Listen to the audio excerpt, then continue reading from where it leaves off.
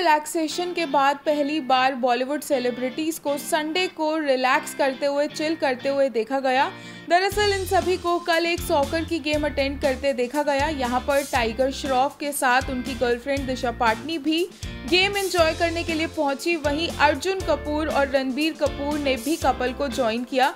इन सभी ने यहाँ पर साथ में मिलकर गेम खेली और क्वालिटी टाइम स्पेंड किया।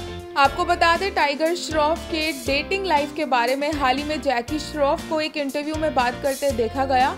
उन्होंने दिशा पाटनी का नाम तो नहीं लिया, लेकिन उन्होंने ये कहा कि उनके बेटे ने 25 की एज पर डेटिंग करना स्टार्ट किया। उन्होंने कहा कि वो अपनी गर्लफ्रेंड के साथ काफ़ी ज़्यादा इन्वॉल्व है, लेकिन उन्हें नहीं पता कि उन दोनों ने अपने फ्यूचर के बारे में क्या सोचा है।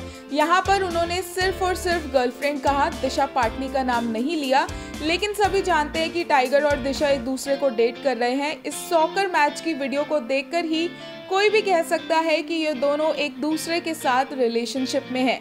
देखिए इस मैच का वीडियो